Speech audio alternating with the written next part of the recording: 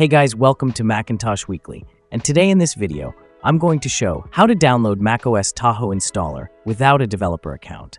If you're new to the channel, make sure to subscribe, and now let's begin. macOS Tahoe, macOS 26, is the latest version of Apple's Mac operating system, announced at WWDC 2025 on June 9, 2025. It introduces a major redesign and new features, with a focus on Apple Intelligence, a sleek user interface, and enhanced integration with other Apple devices. To get the macOS Tahoe installer right now, you'll need this link.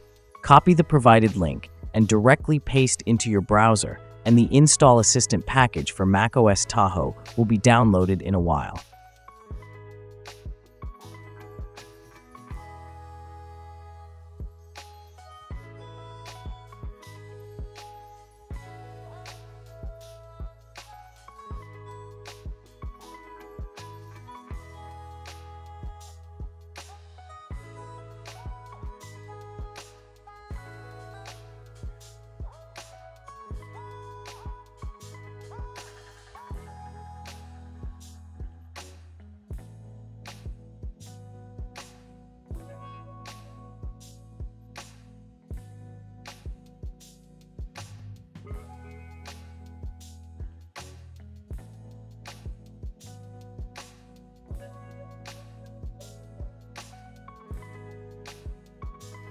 After the package is downloaded, install it.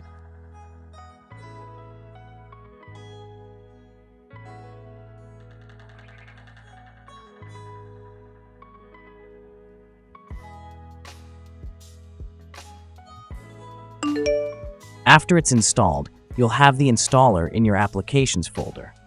With the installer, you can continue to upgrade or create a bootable USB to perform a clean install.